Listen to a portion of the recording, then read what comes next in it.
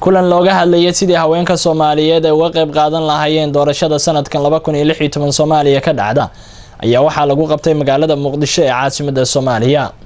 Warbixinta warkan waxaa noo soo dirtay rawda cabdi xasan oo muqdisho joogta tababarkan looga hadlayay doorka haweenka ay ka qaadan karaan doorashooyinka sanadkan ayaa waxaa soo qabanqaabiyey midowda afrika ay horkacayso layindiyan wayonta oo ku-xigeenka madaxa howlgalka midowda afrika iyadoona lagu qabtay degmada waaberi ee gobolka banaadir. Sidoo kale waxaa ka soo qayb galay gudoomiyaha degmada waaberi haweenka kala duwan degmada waaberi iyadoona doorka lagu saaray sidii haweenka ay uga muuqan lahaayeen doorashooyinka nagu soo foolka leh waa kuwan qaar ka mid a haweenka ka soo qayb gala madasha oo anba qaadaya sidii haweenka uga muuqan lahaayeen doorashooyinkan maxay ahayd maanta halkan waxaan iskugu imaanay sidii loo wacyigelin lahaay wacyigelin looga samayn lahaay boqolkiiba soddonkii in la xaqiijiyo dumarka soomaaliyeed inay helaan. Wasaaraddana ee juhdi weyn ay gelisay. Oo mar walbaba ay u taagan tahay haweenka soomaaliyeed in ay helaan boqolkiiba soddonkii. Hadda waad ogtihiin guddi oo xaqiijin ahaa loo sameeyey oo ka kooban saddex iyo toban.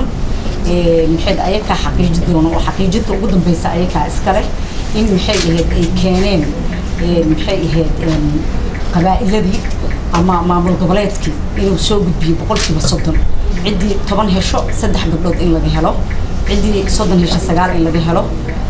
Guddi xaqiijinayana waa la sameeyey. Walaalaheen amisom mar walbaba waana garab taagan yihiin. Ama ha noqoto dhinaca nabadgelyada ama ha noqoto dhinaca maxay ahayd sinaanta jinsiga ama jandarka.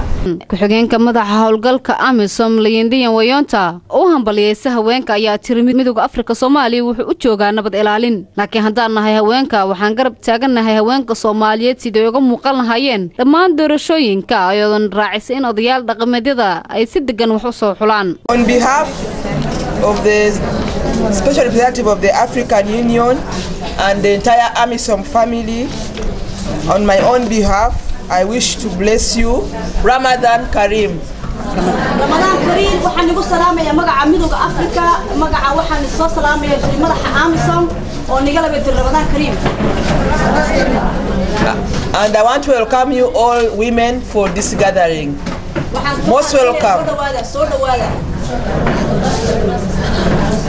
AMISOM is happy to support the Ministry of Women and Human Rights effort to raise awareness among women on the importance of their participation in the democratization process of compliance with the newly adopted national gender policy of Somalia.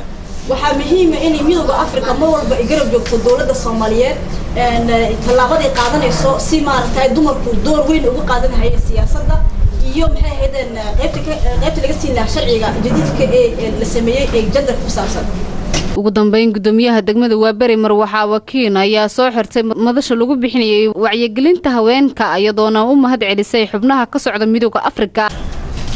Ka hadlaya doorka haweenka ee ka qaybgalka siyaasadda.